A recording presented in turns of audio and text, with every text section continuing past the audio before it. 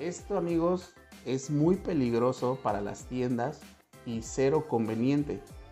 Si una tienda te está presentando una, una promoción y luego no te la respetan, déjame decirte que tienes todo el derecho de quejarte porque hay una institución que sirve para eso, para proteger al consumidor, que es la Profeco. En estos días la Profeco, amigos, anda en chinga.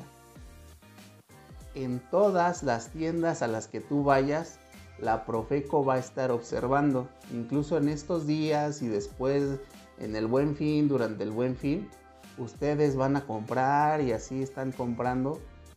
Y seguramente van a ver una persona de Profeco con su chalequito o con su gafete de Profeco. Porque su trabajo es ir a revisar todas las tiendas precisamente a que esto se cumpla. A las tiendas no les conviene, cero les conviene no respetarte la promoción.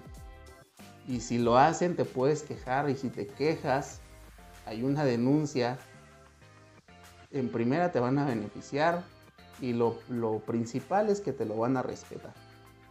Por eso hay gente que se aprovecha de esta situación y de esta eh, pues de este organismo que nos protege como consumidores que es la Profeco se aprovechan y luego salen estos videos de que no me quiere respetar la promoción y ahí dice que la pantalla cuesta 10 pesos y yo le estoy dando 10 pesos y quiero que, o le estoy dando 100 pesos y quiero que me dé 10 pantallas de esta, o sea, hay gente que también se aprovecha, es, pero desde ya les digo es de que sí tenemos derechos como consumidores que se respetan, o sea, más en estas épocas amigos se respetan, se respetan y yo lo he visto y hay gente, o sea, de hecho, por ejemplo, yo hace un año y hace dos y hace tres incluso, me tocó buen fin, yo como promotor, en este tipo de tiendas departamentales y tiendas de autoservicio. Y todas estas tiendas te exigen, o sea, no te lo sugieren, no te lo piden, por favor exigen que tengas especial cuidado en poner precios, en poner promociones, en, en fijarte bien lo que estás anunciando. Porque uno como promotor, ustedes no lo saben, pero nosotros como promotores tenemos la responsabilidad de tener nuestro producto exhibido, limpio, armado, tener una exhibición, eh, poner todo el material POP, material pop.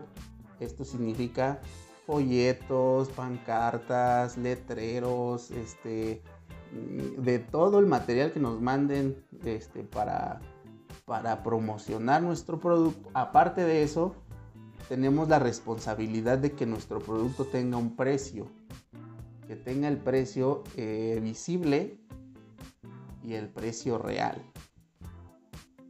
si yo como promotor llego y pongo un precio este, que está mal, más alto o más bajo, me voy a meter en problemas serios.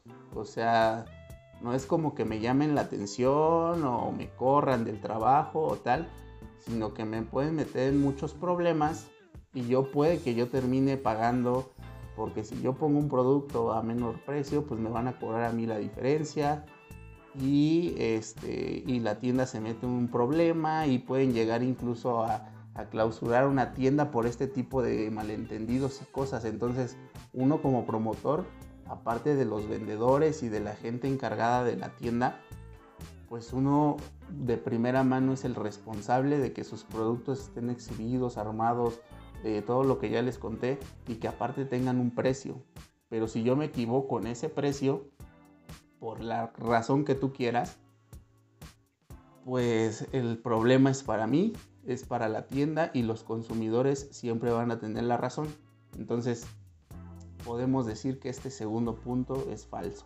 Las tiendas tienen que respetar al 100% las promociones que están ofreciendo. Entonces, como consumidor puedes estar tranquilo de que eh, de verdad se van a respetar tus derechos que no te van a picar los ojos de esa manera porque en este tiempo más que en todo el año Profeco está, pero a la orden del día, ¿eh? O sea, tú haces una llamada y lo más seguro que haya un inspector de Profeco, eh, incluso dentro de la tienda en ese momento. Entonces, no pueden hacer eso. Obviamente no es como que a la ligera vayas y denuncies y de la nada ya cerraron la tienda. Ah, te voy a cerrar la tienda ahorita, yo llamo. No, tampoco.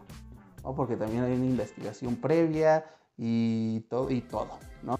Un tercer punto que quisiera tocar en este iceberg, por así decirlo, del buen fin, son las compras en línea.